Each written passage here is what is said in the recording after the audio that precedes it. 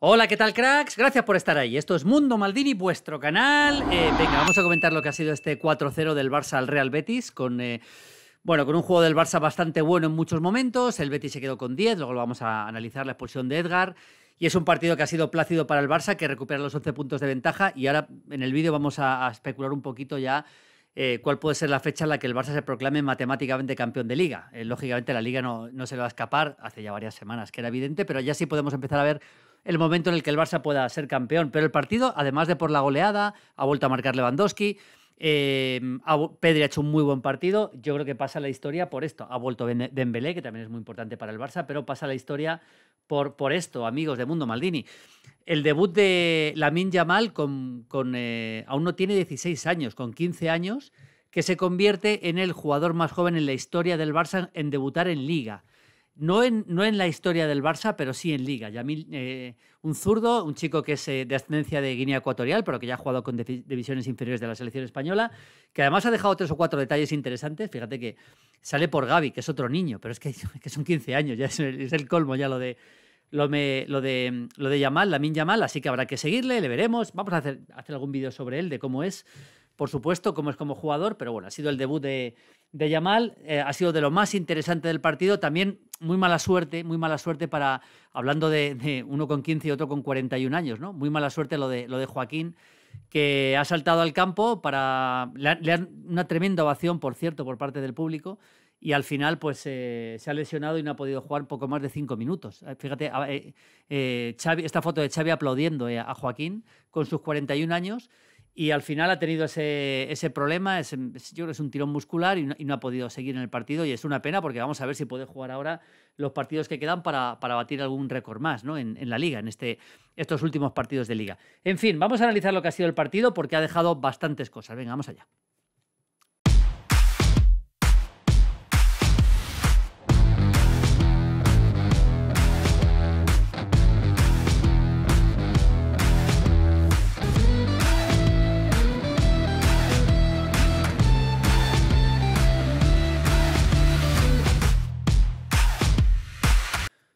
Bueno, vamos allá, amigos de Mundo Maldini. Em, antes, que, antes de ver los once, eh, un detalle. El primer gol lo marca Christensen. Eh, era imprescindible para el Barça recuperar a Christensen, que estaba haciendo una gran temporada. Hay que decir que el Barça va a ganar la liga con mucho margen, pero que ha tenido muy mala suerte con las lesiones en momentos clave de la temporada.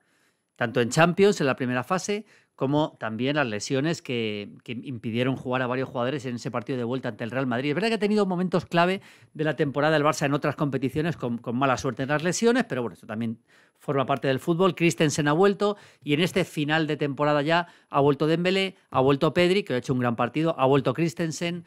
Eh, bueno, están volviendo todos los jugadores importantes del Barça, que es Frenkie de Jong también, que también ha estado bastante bien, y eso lógicamente el Barça lo nota. Y también quiero decir que muy decepcionante final de liga del Betis de este hombre de Pellegrini. Desde que fue eliminado por el Manchester United, el equipo mm, se ha venido abajo con bastante claridad y yo creo que va a ser muy difícil que pelee por la cuarta plaza. Muy difícil que pelee por la cuarta plaza. Ahora mismo parece que el rival puede ser el Villarreal más que el, más que el, eh, propio Betis para la Real Sociedad.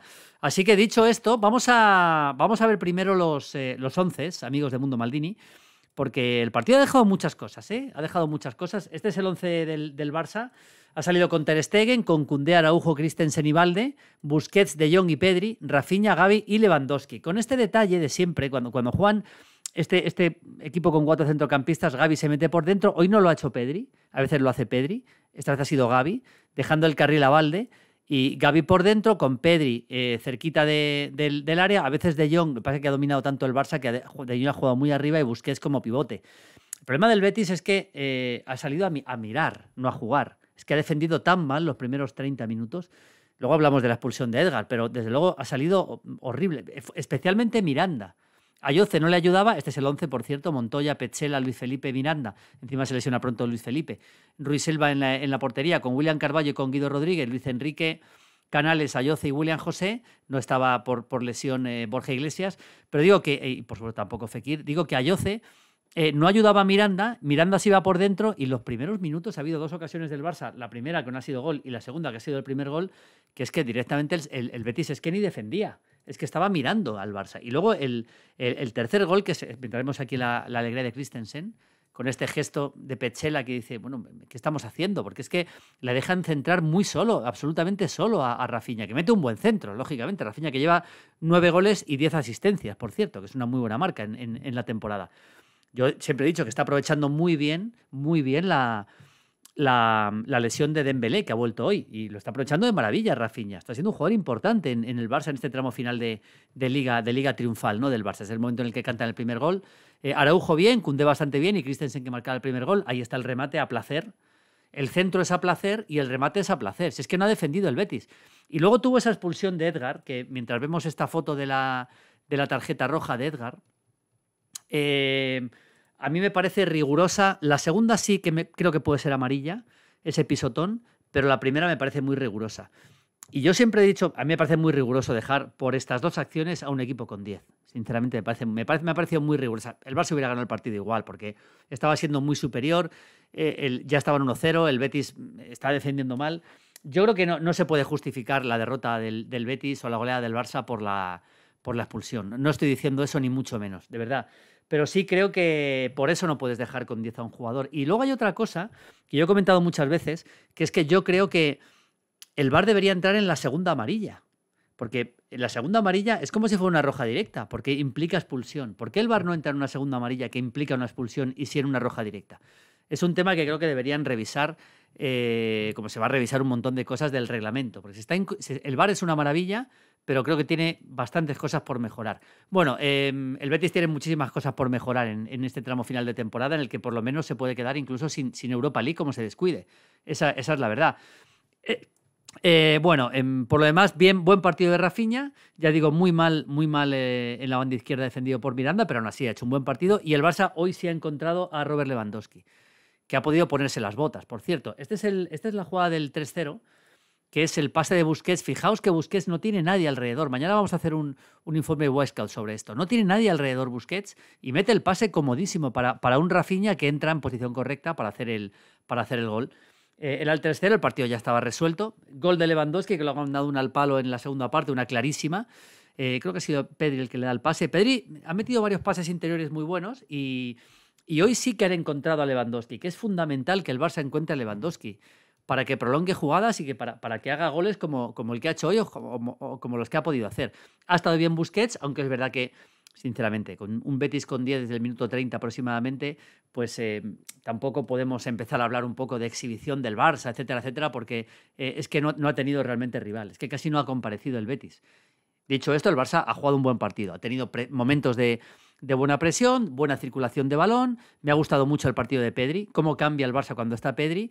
Con Pedri más de Jong cambia más todavía, es decir, el Barça ha vuelto a, hoy sí ha vuelto al nivel de, lo que nos ha ofrecido muchos partidos de liga este equipo. Y por terminar el análisis, eh, amigos de Mundo Maldini, bueno, a Ter Stegen no le han chutado yo creo ni una sola vez a puerta, que hizo una jugada en la segunda parte, ha tenido una intervención en toda la segunda parte, está cerca de batir el récord del, del, Deportivo de La Coruña de menos goles encajados y del Deportivo de La Coruña de más porterías a cero. Le quedan tres porterías a cero para batir el récord de, del Deport, así que creo que puede batir las dos Ter Stegen en esta temporada. Ha sido absolutamente infalible cuando ha tenido que participar y le han llegado muy poco, lógicamente. Bueno, debut de, eh, perdón, debut de, de, de, Yamal, de este chaval, y termino hablando de Dembélé, debut de Yamal, de este chaval que entró aquí, esto es lo que sacó el Barça, por cierto, el jugador más joven en debutar en el siglo, este chico zurdo, internacional por las categorías inferiores con España, que ha debutado, eh, ha metido un gran pase a, a Dembélé, que no ha aprovechado Dembélé, ha podido marcar un gol, ha tenido tres o cuatro acciones muy interesantes, eh, Lamin Yamal, y termina hablando de Dembélé. Ha vuelto Dembélé, ha habido una ovación espectacular cuando ha entrado Dembélé, cómo han cambiado las cosas, lo comentaba John Cope, cómo han cambiado las cosas después de, aquellas, de aquella pitada de Dembélé, cuando parecía que se iba, que no se iba, la gente está volcada con Dembélé, es lógico por el nivel de Dembélé y vamos a ver este final de temporada si vuelve a, a, su nivel después de la lesión y qué pasa con la temporada que viene. En fin, el Barça para terminar, decir que el Barça, viendo un poco los. Eh, meteremos aquí esta foto, viendo un poco lo que puede pasar a partir de ahora, si el Barça gana Osasuna el martes, cosa bastante razonable, y el Madrid no gana en San Sebastián, no va a estar Vinicius, cosa que también la Real está cuarta, es una cosa más o menos razonable. El Barça ganando al español en la siguiente jornada sería campeón, en el campo del español. Sería casi una, puntilla para el español. Y si no, eh, el Barça yo creo que casi seguro será campeón en la siguiente jornada en el Camp Nou. Esto es lo que hay para el final de liga, amigos de Mundo Maldinis. Vamos a seguir con un montón de cosas. Mañana vamos a tener un informe Boy Scout de este partido porque creo que merece la pena escuchar a Xavi Hernández y a ver si me da tiempo también hacer algo del, de informe Boy Scout también del, del partido del Madrid, que tenéis un vídeo. Un abrazo, chao, chao, chao, chao.